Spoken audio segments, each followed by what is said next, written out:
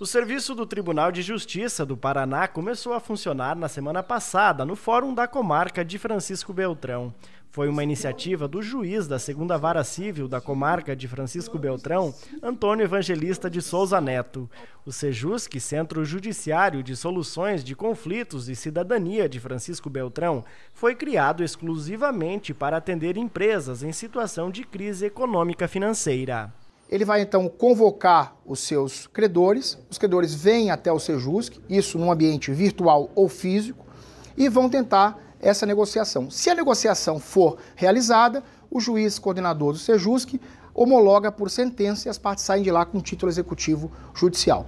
Se a negociação não for frutífera, não for próspera, ele sai e continua a vida.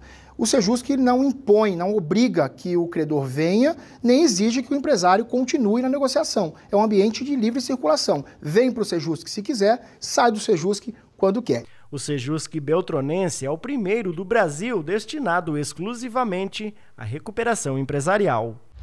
O centro oferece a possibilidade a empresários que estão passando por uma crise de renegociar suas dívidas sem ser necessário o pedido de recuperação judicial ou até mesmo falência.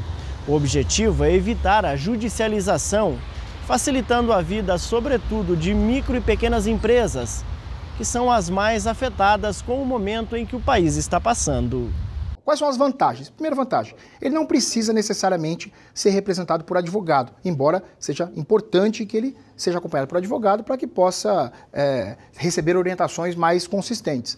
Segundo, ele não vai ter que arcar com as custas que, teriam que, que teria que arcar num processo judicial. Então, suponhamos que o empresário tem 60 credores, ele teria que pegar 60 vezes as custas de 60 ações diversas, com 60 advogados, ou então um advogado para propor 60 ações. Seria muito oneroso. Os interessados devem apresentar documentação que prove irregularidade fiscal e algum documento que indique a situação de crise, como, por exemplo, a perda do faturamento nas vendas.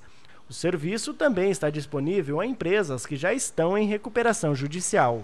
Nesse caso, o Sejusc também é, atuará no plano processual, permitindo que os empresários, juntamente com os credores, seja em assembleia de credores ou então através do comitê de credores, sempre com a fiscalização do juiz e do administrador judicial, que ele faça um rearranjo, readapte o plano de recuperação judicial para as suas particularidades, para as necessidades. O projeto foi apresentado na CEFB, Associação Comercial e Empresarial de Francisco Beltrão.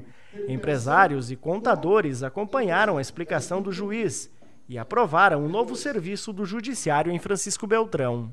A instalação do Sejusp aqui em Francisco Beltrão, inclusive como pioneira no Brasil, é nesse sentido, para que a gente realmente possa dar oportunidade de uma forma muito em conta para o nosso empresário fazer uma negociação justa com os seus credores.